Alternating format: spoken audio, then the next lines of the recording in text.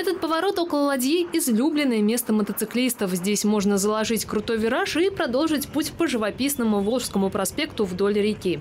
Об этом знают и жители окрестных домов, которые вынуждены разделять с водителями мототранспорта радость от громогласного рева двигателей.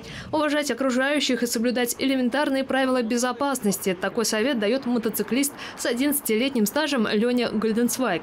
Водитель уверен, потенциальная опасность компенсируется грамотным поведением на дороге.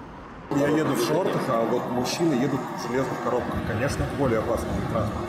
Но ты выбираешь либо радио и кондиционер, э, либо быстро приехать. Надо просто думать головой и все.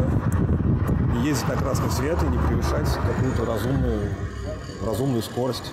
Потому что, опять же говорю, лежать в больнице с ощущением, что зато я был прав, чуть не слаще, чем просто лежать в больнице.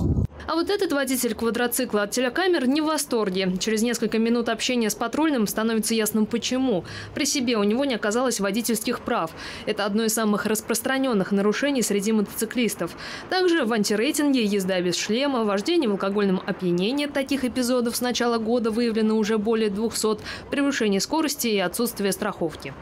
Учитывая, что общий уровень пассивной безопасности мотоцикла значительно ниже, чем у любого автомобиля, поэтому, безусловно, что мотоцикл обладает заветно больше, ну, более травмоопасной, скажем, вид транспортных средств, тем более в условиях городской черты. Поэтому э, навыки управления подобным транспортным средством, чувство ответственности должно быть еще более развито, чем у водителя э, автомобиля. Подобные рейды безопасности на дорогах Самарской области проходят регулярно. Ощутимые результаты уже есть. Количество ДТП с участием мототранспорта по сравнению с аналогичным периодом прошлого года сократилось на 17%. Тем не менее, с начала года произошли уже 44 аварии. Более чем в половине из них виноваты сами мотоциклисты.